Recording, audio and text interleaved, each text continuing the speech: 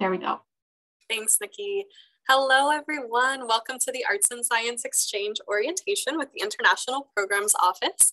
My name is Haley McCormick. My pronouns are she, her. I am the Arts and Science Exchange Coordinator, and we're joined tonight by Nikki Gale, who is the International Programs Assistant in the IPO, whose pronouns are also she, her. At tonight's session, we're going to spend about an hour talking about your upcoming winter 2022 exchange. We're going to cover a lot of ground, but we want to remind you that this session is recorded. So you'll receive a recording of the session with, with closed captions, and you'll be able to review this moving forward. To begin our time together, I would like to acknowledge that Queen's University and Kingston are both situated on the traditional territories of the Anishinaabeg and Haudenosaunee nations. To reflect on this is to reflect on the longer history of this place, one that predates the arrival of the earliest European settlers. It's also to reflect on the special relationship that has existed and continues to exist between Indigenous caretakers and the land.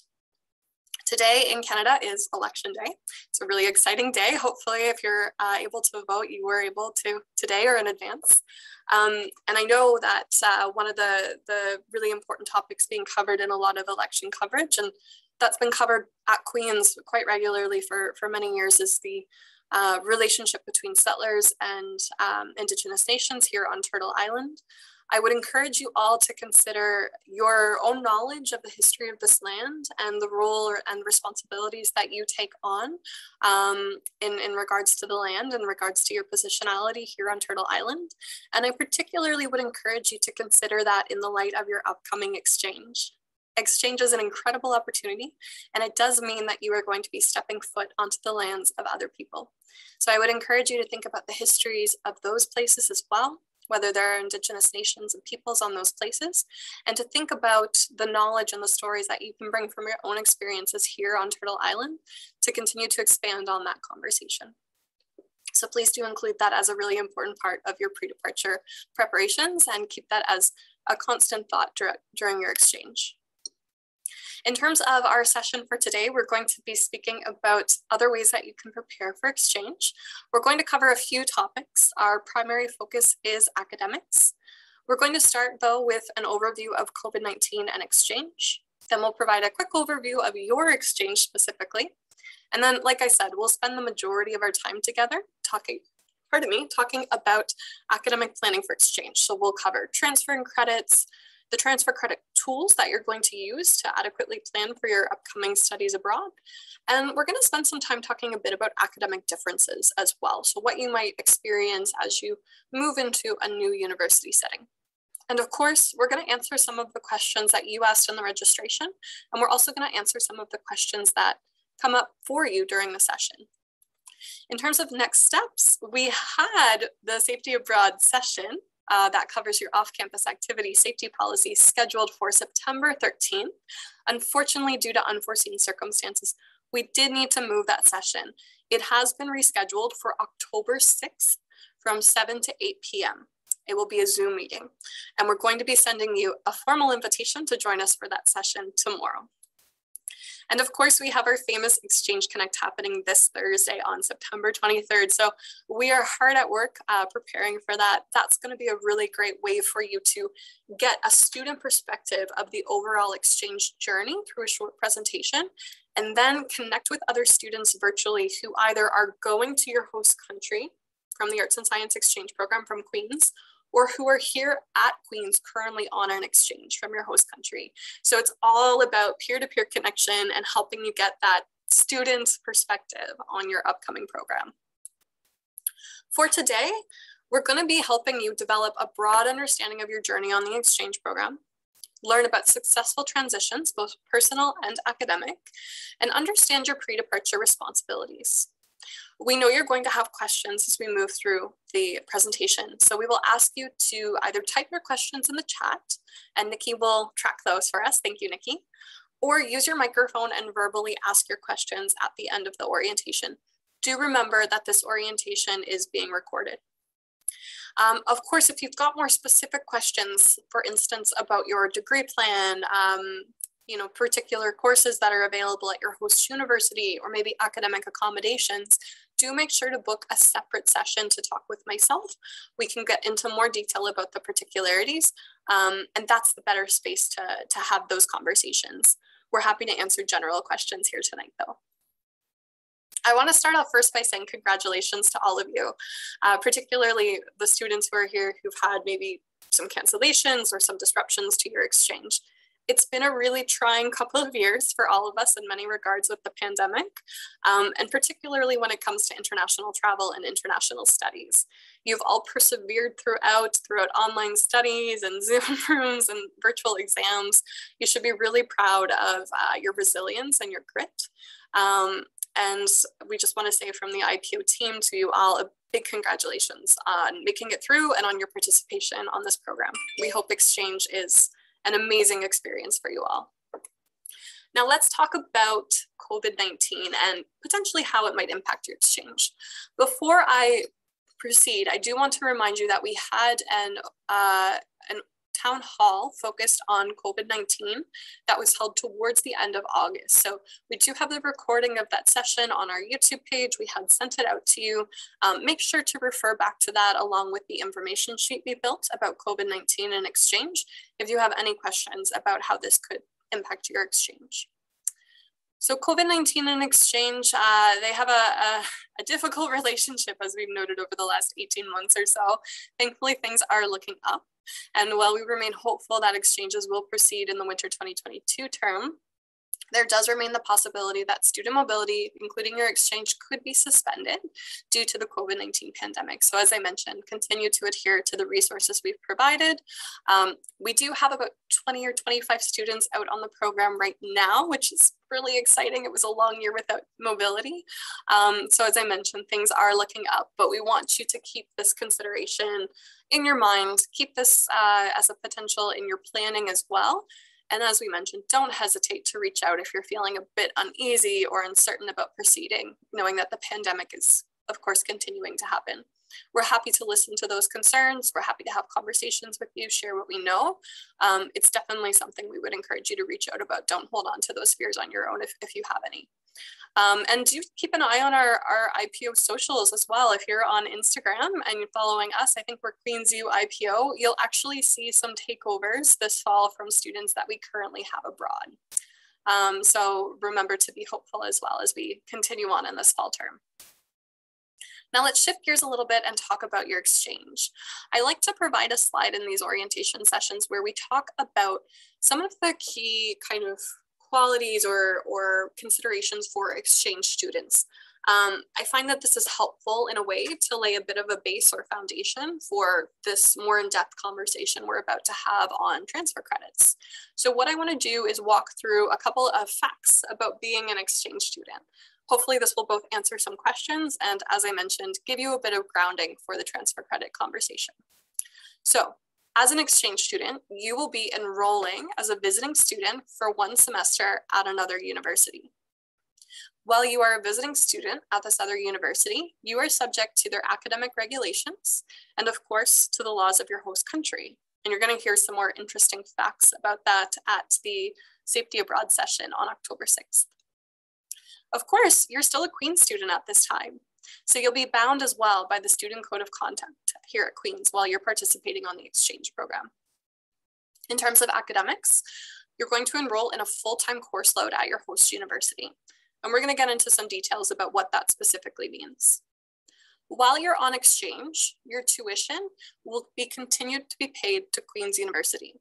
And your tuition will cover a full course load. So that's 15 units.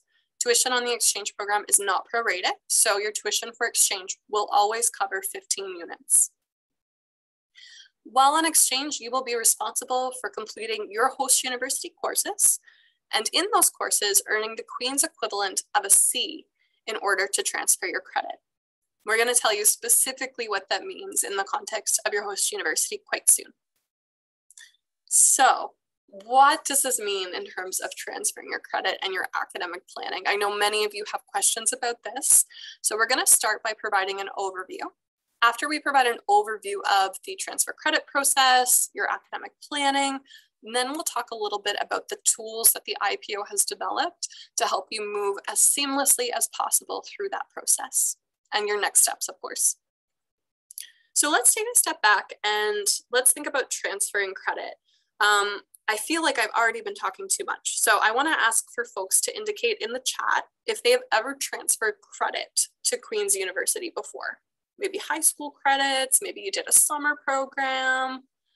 Let's see if folks have experience with this. Oh, so I'm seeing some yeses, some no's. Nose, nose, nose. Okay.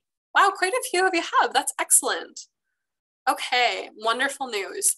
So in terms of exchange, we have a very unique and specific transfer credit process. So for those of you who said yes, that's wonderful. And I think it gives you some experience that will be useful here.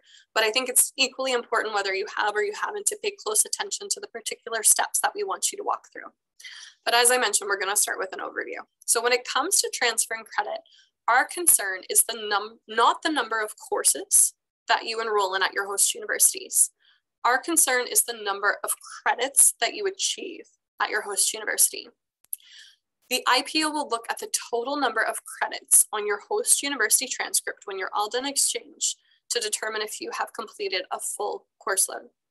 You're going to know what constitute a full course load well ahead of departure because we're going to give you the, that information in a document called Academic Parameters of Exchange, and that's going to reach you in probably the next two to three weeks. So as I mentioned, completing a full course load on exchange means that you will be eligible to receive the equivalent of a full course load in transfer credit from Queen's. But what does that mean? That is a lot of jargon. Let's break it down with a few examples. And we're going to use Sciences Po as an example. Anyone here going to Sciences Po? No pressure, but if you want, you're very welcome to say yes or, or uh, in the chat. Um, so Sciences Po is a uh, university in France, and they have the uh, European credit transfer system. That's what they use to count credits.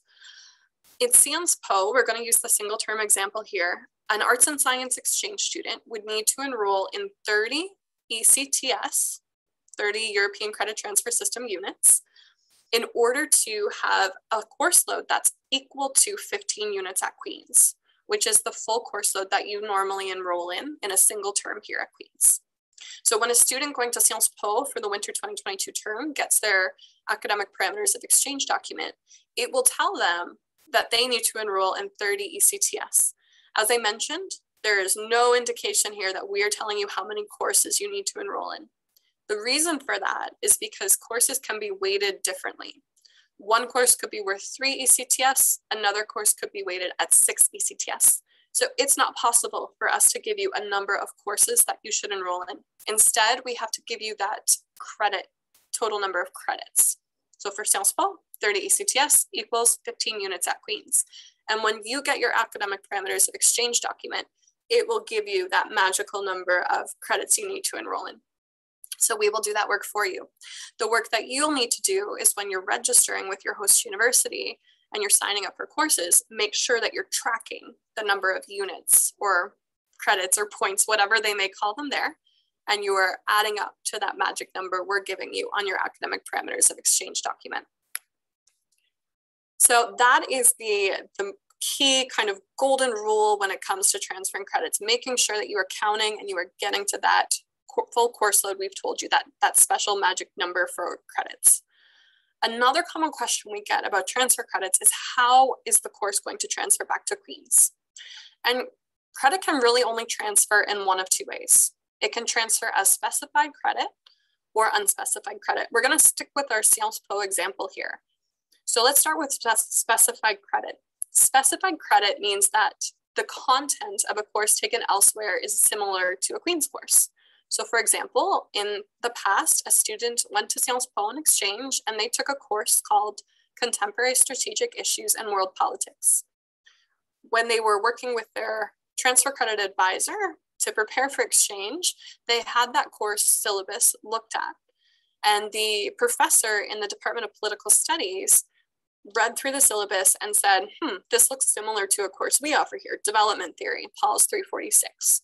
And they signed off on that that means that they thought this was a specified credit. And when we transferred that credit back to Queen's, we indicated on the student's transcript that it transferred as POLS, indicating it's a political studies course, 346, indicating it's a 300 level or upper year course, and we gave it the specific code uh, for development theory.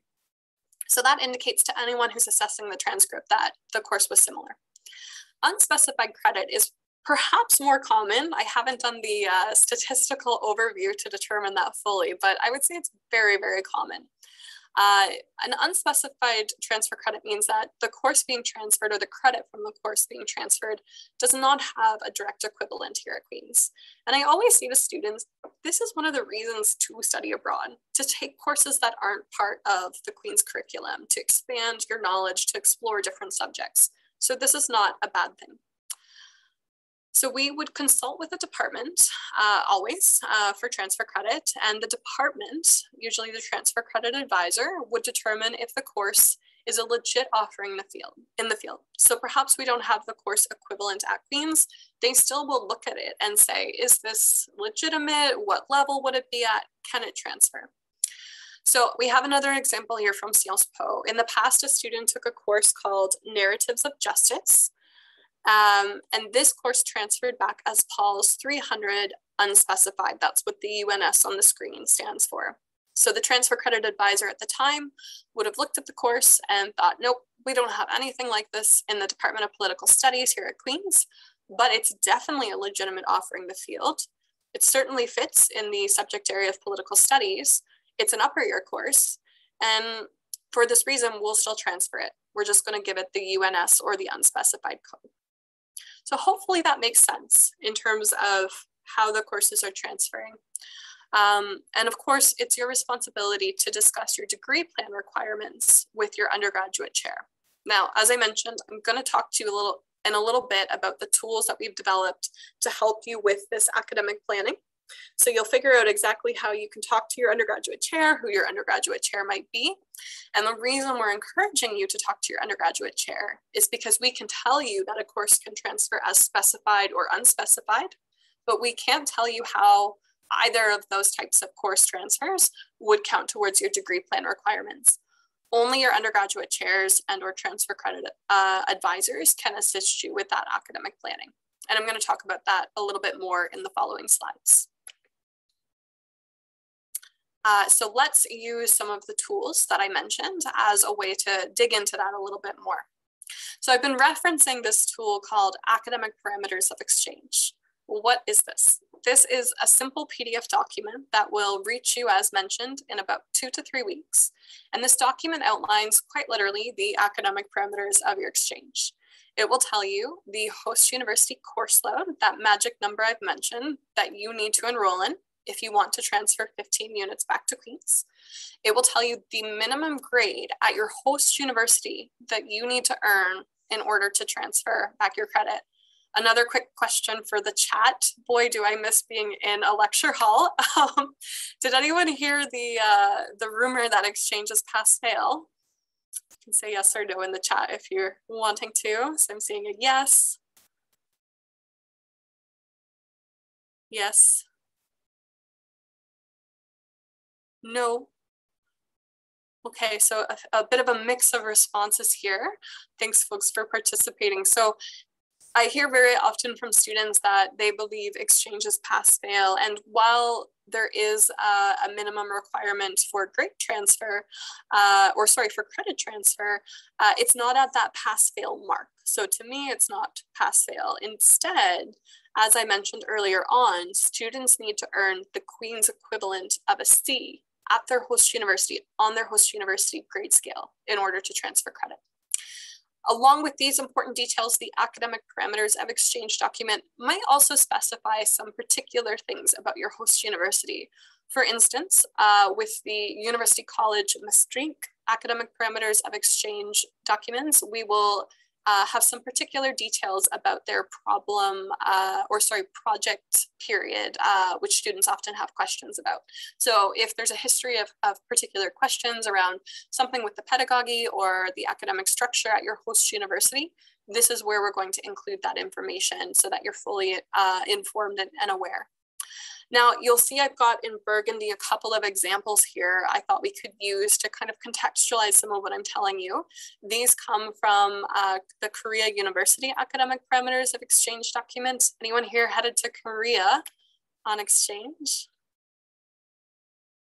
Ah, there is someone here, wonderful. Well, lucky you, you get to be the example today. So when students go to Korea University, they have to enroll in 15 credits at Korea University. So you would go, you would sign up for your courses following their process, and you would need to make sure that you're counting as you're adding your courses to get to that magical number of 15.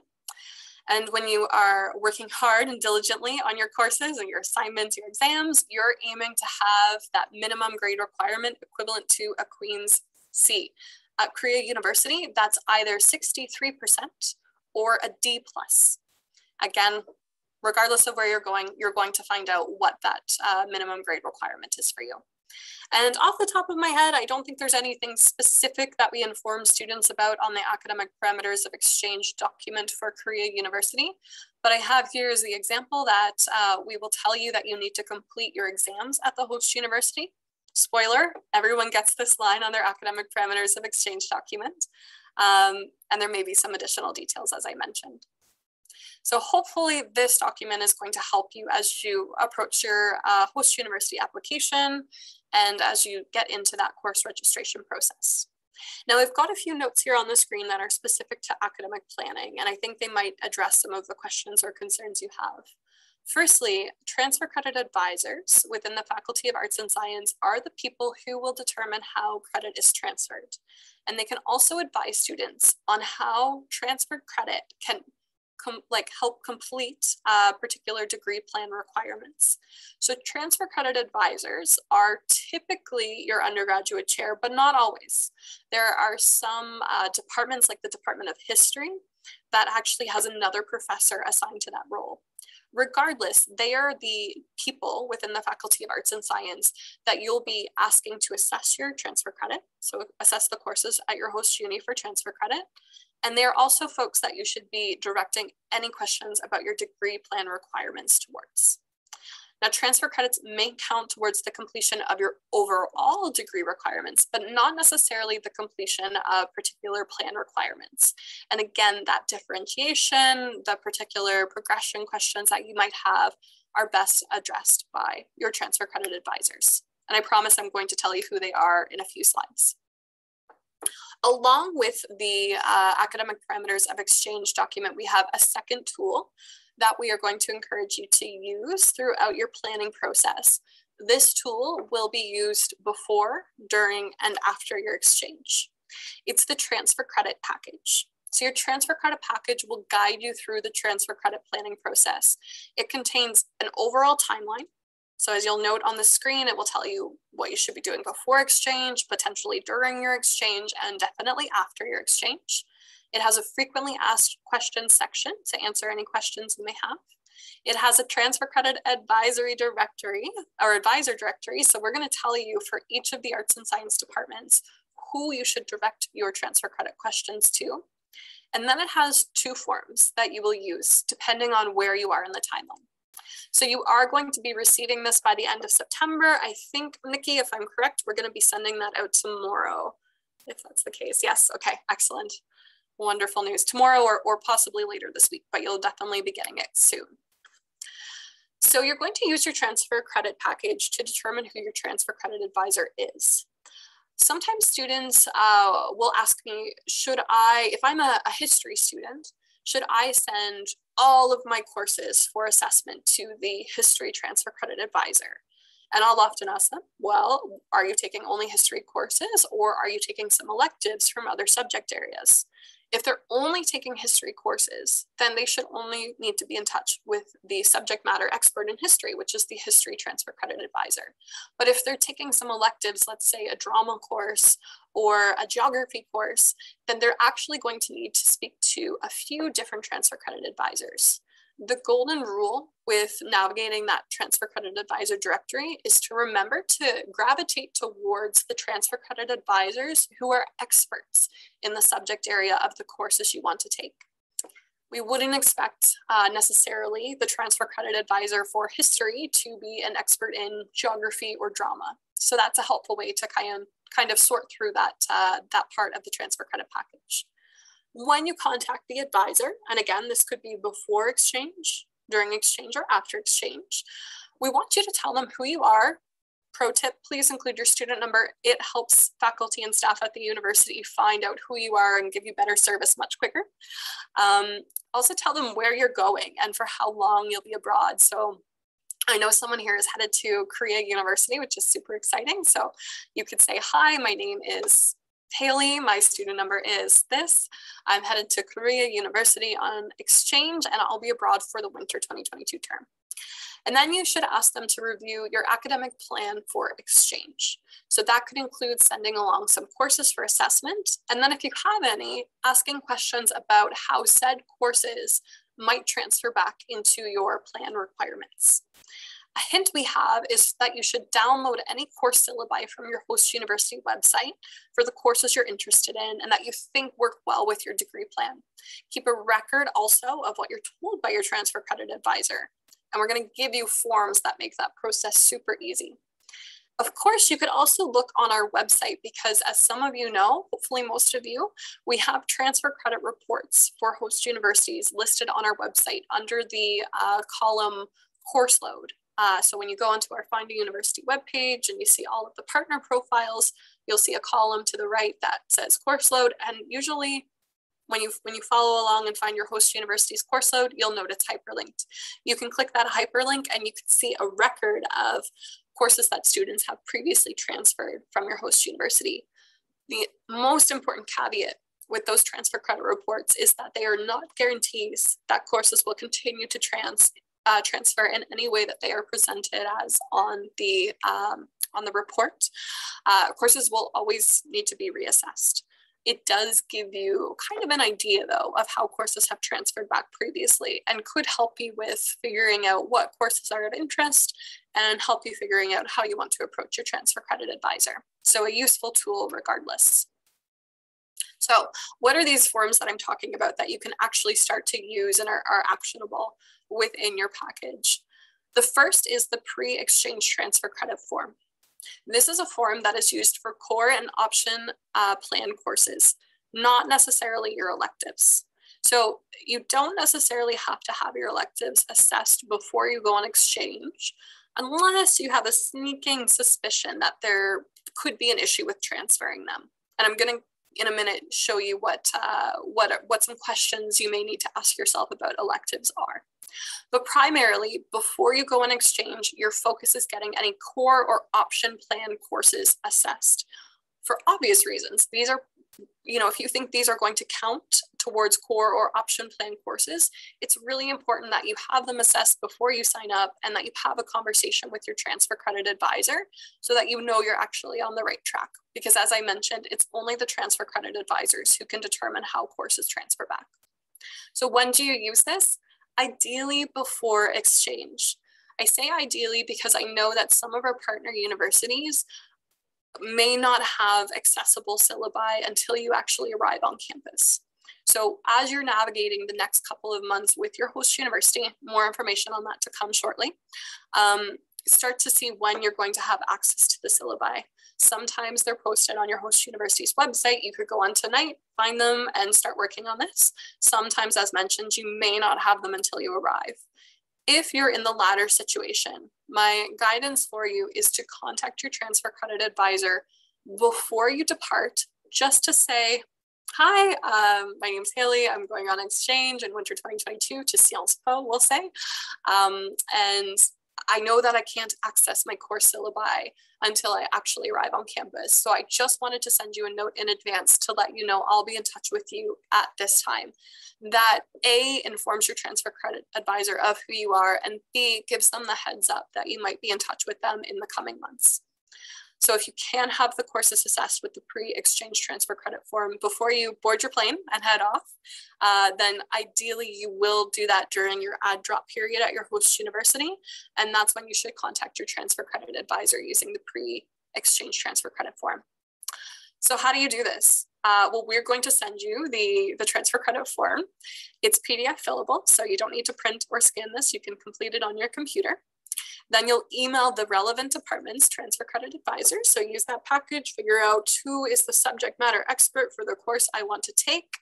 Um, you will send the form that's completed along with the syllabus or syllabi to the transfer credit advisor via email and you'll ask for an assessment. Then the transfer credit advisor will email you back. They'll either complete the form, filling in the uh, table to the right on the form, telling you how they think it will transfer back, or they will respond via email. A lot of the transfer credit advisors are doing that. That's completely okay as long as we see that it's from their email address, we know it's official. Um, they'll email that back to you and you will have that record of how the course will transfer. So hopefully that will bring you some calm and some assurances as you head into your exchange. Then you'll send an email of, uh, sorry, an email copy of your form to the International Programs Office, and of course, keep a copy for yourself. Your transfer credit advisor might keep a copy also. So I mentioned I was going to give you a couple of tips for those tricky elective courses because I mentioned the emphasis really is on the core and option plan courses being assessed before exchange. You don't necessarily have to have your electives assessed.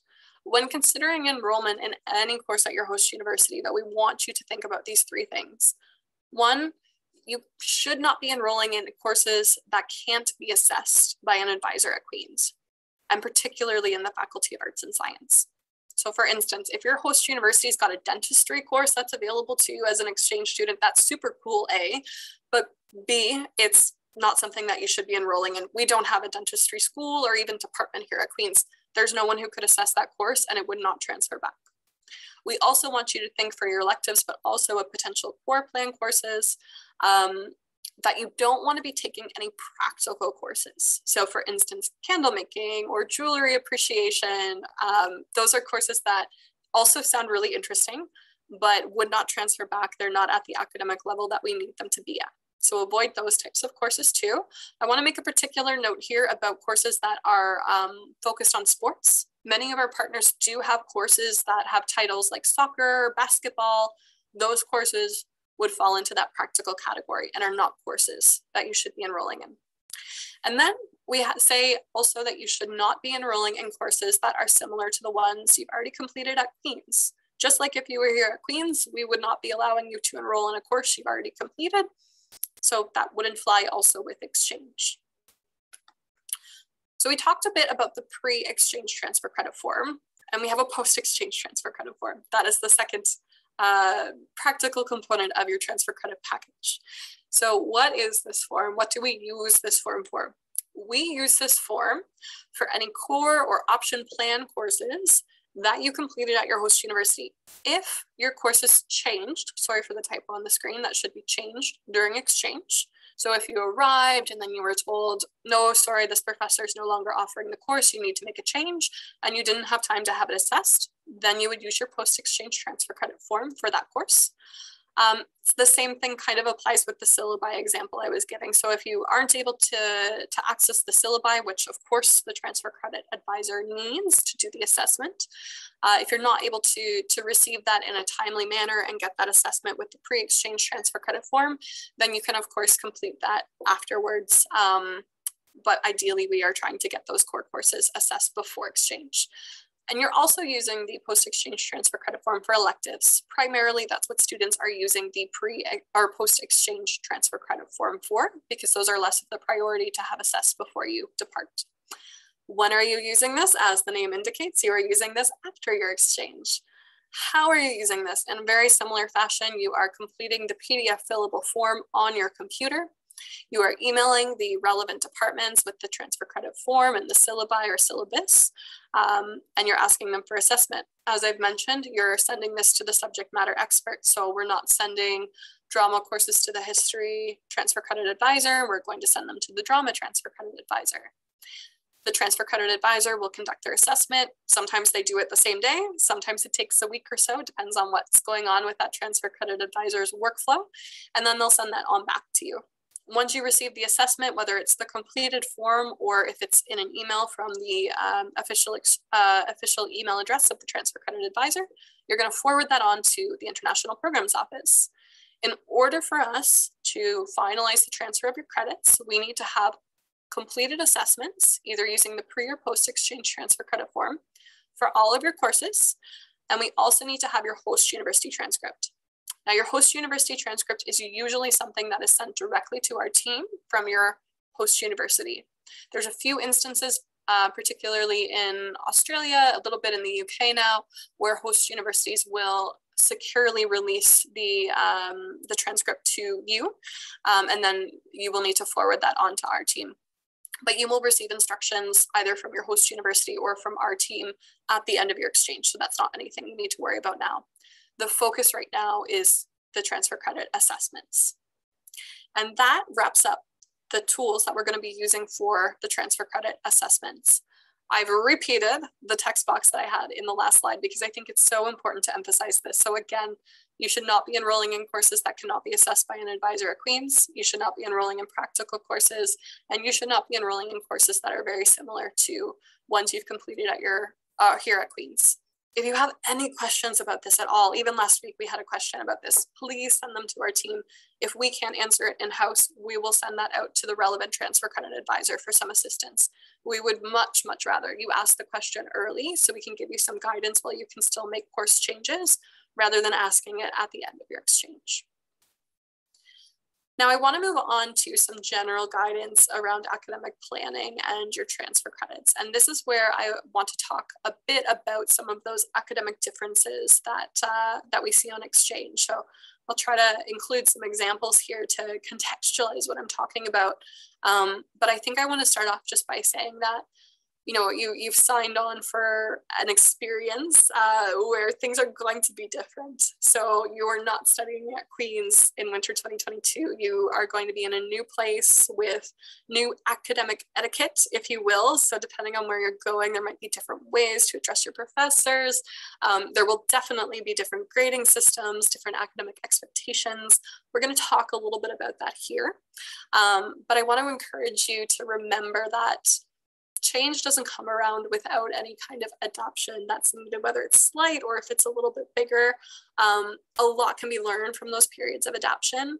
And there's sometimes a lot of joy and happiness in them when you kind of stumble upon something that's different. But sometimes they can be challenging too. So if you are abroad and remembering this session, I just want to remind you that uh, it's normal to have a little bit of culture shock, a little bit of um, maybe missing home, homesickness while you adjust to some of this difference.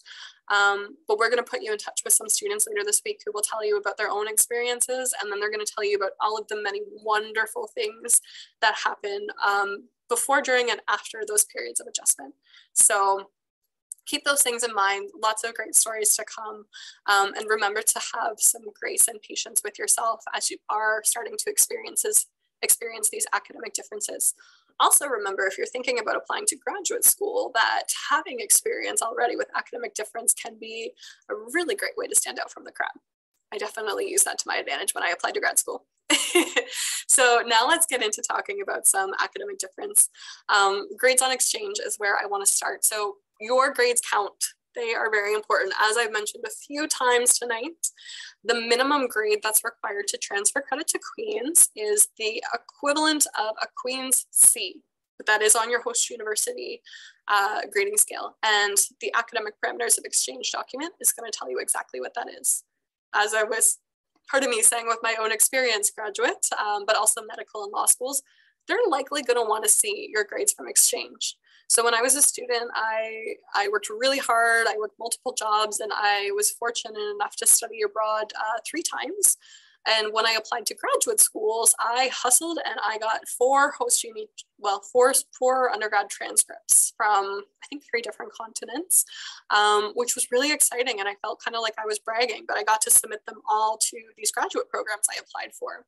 They all had uh, grading legends or um, kind of schemes on the back. So I could rest assured that these admissions officers knew how to assess them. They were given the instructions.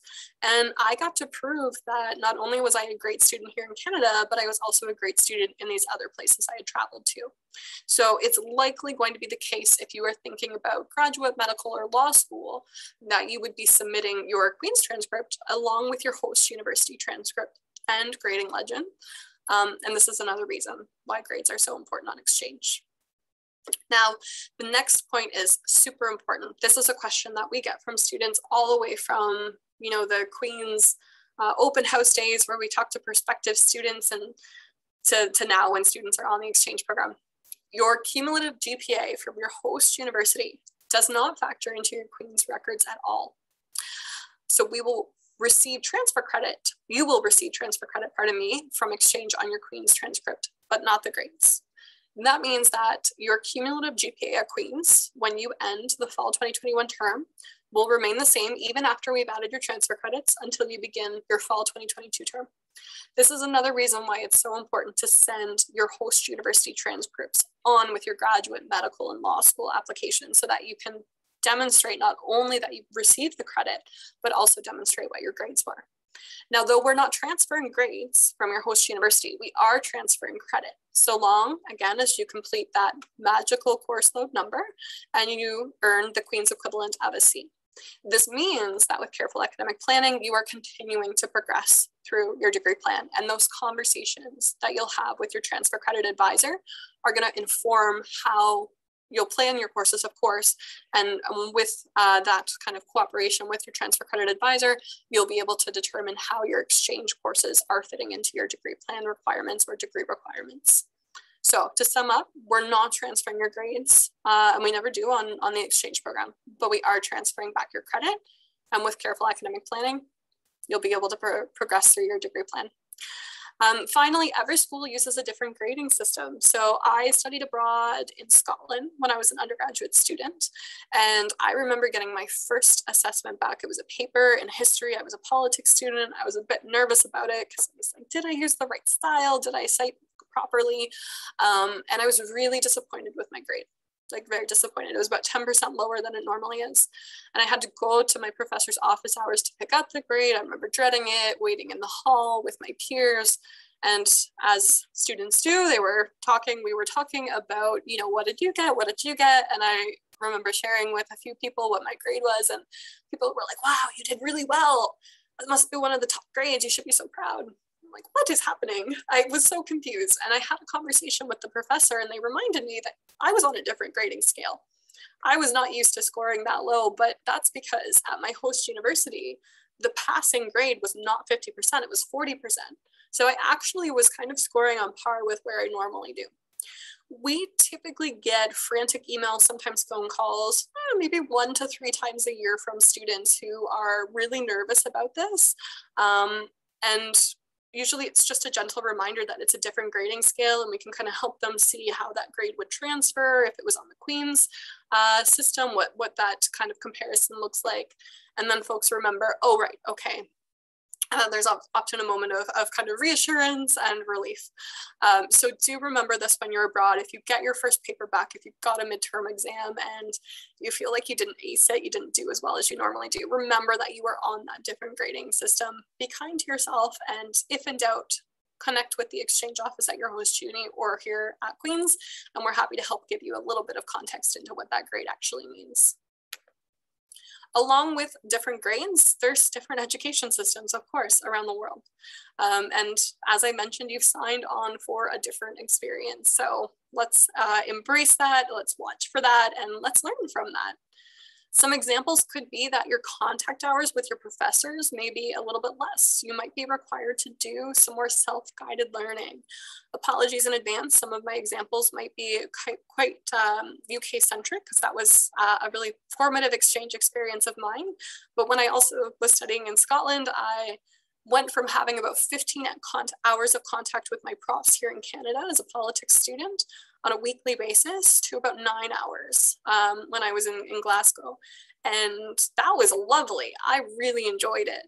And then I got to the end of my uh, my term and I had some very heavily weighted final exams because I wasn't having very much contact hours, wasn't having very much assignments throughout, and I felt a little bit of pressure. Um, but when I think back on that experience, I think I really learned a lot about time management, um, and again, adapting to difference. And I think those lessons have served me well. So prepare for potentially a little more independent learning. potentially um, contact hours that are quite similar to Queen's. You're going to learn more about what your host university experience is like as you start to engage with the application process. Of course, the best advice we can say is give yourself some time to settle in academically. Things may not come as fast as you want them to, um, but you are adapting to difference. And that takes a little bit of time. And like I said, a little bit of grace. So I gave you uh, a pretty scary example from my life anyway, scary in my life, of the grading system and how that can be a little bit different and a little bit um, frightening at first and then really cool to, to think back on as you kind of progress through. Um, and of course, along with having less contact hours or FaceTime with your professors, you may also have less access to um, office hours, let's say, for staff people at your host university. So here in North America, we, we are very much operating on kind of a um, excellent kind of customer service model. Um, you know, we want to be as accessible as possible, which means we want to have open doors, we want to have Zoom rooms and the like. Um, there are places in the world where that's absolutely not the administrative culture, and that could also require a little bit of adaptation. So if you're experiencing that, remember that you know there are different administrative and academic cultures and give yourself a little bit of time to adjust. Exams on exchange are another example of academic difference.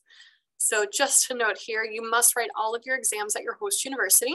If you depart early, then you're going to assume any risk associated with that decision because Queen's will not be proctoring exchange on behalf of our exchange partners. And on the bottom bullet there, you'll see another couple of examples of um, how exams could be different. So uh, one exam could be worth 80 to 100% of your final grade. I had that experience uh, at two different exchanges. Lots of students tell us quite often that that's their experience.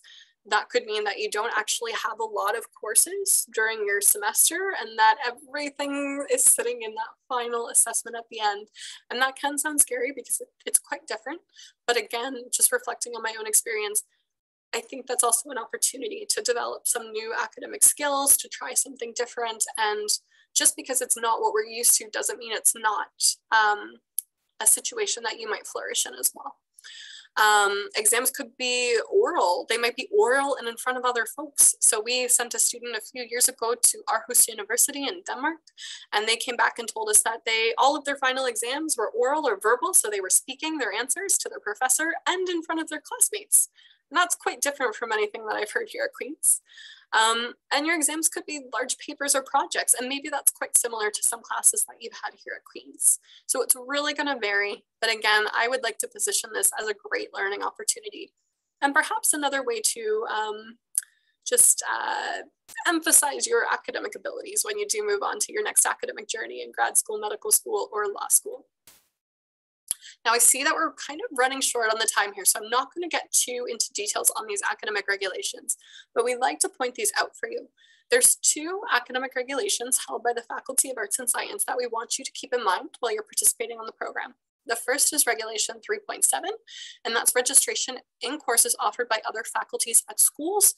To clarify, we're talking about schools at Queen's, like the Smith School of Business. We're not talking about your host university here. And so it says a maximum of six units from courses offered by other faculties or schools may be counted towards the program and or plan requirements of a degree within arts and science. I would categorize this as your degree plan progression planning. So this is something if you're kind of nervous about, maybe you have taken courses in other faculties or schools, you're not sure how that impacts your transfer credit planning. That's a great question and conversation for your transfer credit advisor. So I would always encourage you to err on the side of caution, have those conversations before you depart. The other regulation is regulation 12.3, students on international exchange programs, and this connects to the honors list. Um, this is not something that the International Programs Office advises on. So at this session, we like to put a spotlight on that and then direct any kinds of questions that you might have about this over to the Faculty of Arts and Science. So I'm not sure if they're hosting any kind of in-person services right now. The best way to get in touch would be after you read the regulation on their academic calendar to reach out and contact one of their advisors. Now, I want to wrap up by talking about um, what you should do if you are experiencing some difficulties with your academic transition. And again, you'll continue to hear from our team throughout the program. We'll continue to send you some lovely uh, emails and, and tips and, and, remind you that we're always available, even if you're abroad, for some uh, virtual conversations. But really, our goal is to prepare you with helpful advice so that you can make informed decisions regardless of your circumstances. If things aren't going well, whether it's academic or personal, we, we genuinely do want to know. We, this whole team really cares very deeply about your uh, exchange experience and we want to be here to support you. So if you, um, before you go abroad, while you're abroad, or maybe upon re-entry, if you're finding that you're struggling with some adjustment, if you're feeling overwhelmed or confused and unsure of where to go, you can contact Nikki, myself, any member of our team. And we're going to do everything that we can to help kind of set things straight or kind of give you some guidance based on our experience and our knowledge. Know that Queens will always respond when you ask for help. So please let us know if things don't feel right. Also, we have a network of individuals that we work with at your host universities who are available to help. Every day we receive emails from Koç University, from Bilkent, from the University of Warwick and the University of Hong Kong. So we're quite familiar with folks there. And if you are abroad and just feeling like things aren't right, know that we can always put you in touch with someone who's actually on the ground with you who can help out. So what next? That was a lot of information. What are you supposed to do with it? All right, well, I've got a checklist for you. I don't know about you all, but I'm a big fan of checklists. So let's walk through this together and then we can tackle some of your questions. We are conducting academic and financial checks to ensure continued eligibility for exchange. So a few folks have reached out to me and said, I'm a bit worried. Last year was hard, or I took some really difficult summer courses. Um, I'm worried if I'm going to be eligible or not to continue on the program. Know that we will check that uh, in advance of nominating you, and we'll actually reach out to you if we have any concerns. Of course, our goal is always to send students abroad, so we'll reach out and we'll have a conversation and we'll go from there. Uh, tomorrow or potentially later this week, you're going to receive the orientation recording along with the transfer credit package. As I mentioned in the last or in the next two to three weeks, you will receive the academic parameters of exchange document that is specific to your host university. I apparently forgot to update our slides with our new Safety Abroad session date. My apologies, but the Safety Abroad session will be held on October 6th. This will be um, facilitated by Sandra Jeffers, who's the Health and Safety Specialist in the Department of Environmental Health and Safety. And it's going to talk all about OCASP, which is your off-campus activity safety policy. That's a mandatory part of your pre-departure preparations. And of course, we're hosting Exchange Connect. I have to smile because it's my favorite part of pre-departure.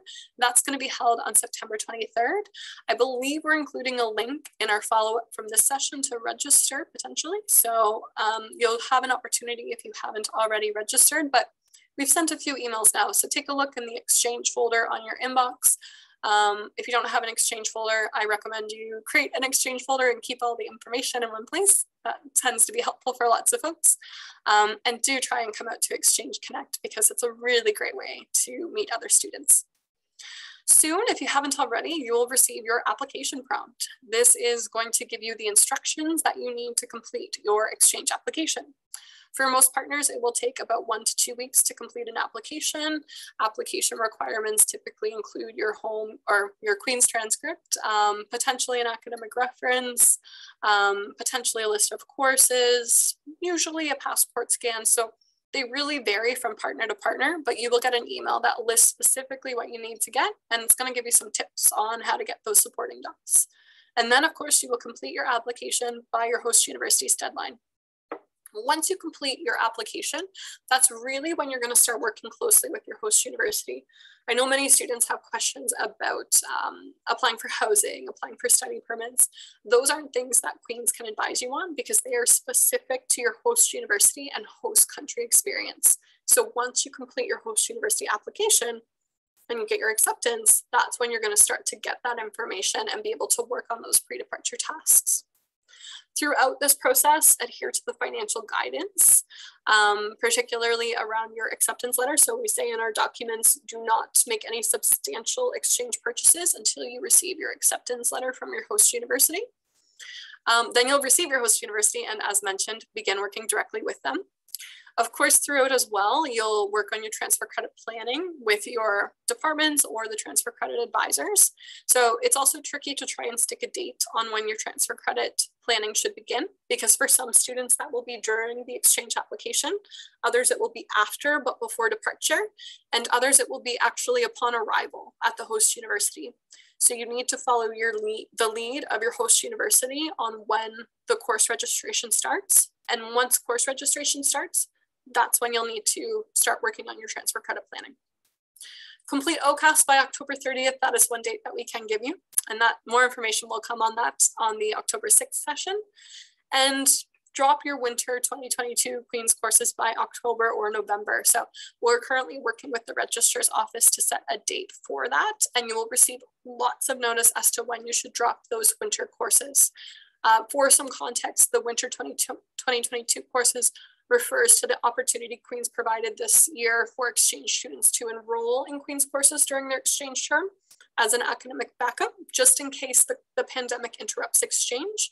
Um, so by October, November, we're expecting most students to be nominated. This is the time when we will say, now you can drop your Queen's courses, and then in their place, we will add something called your exchange segment, which will generate your tuition for exchange. So this process is quite new, still underway, and we will give you a specific date once that's been set that was a lot of information for an hour. I'm really happy that we're recording it so you can continue to refer back. I know that you probably have some questions. So at this time, I'd like to uh, ask Nikki to kindly stop recording the session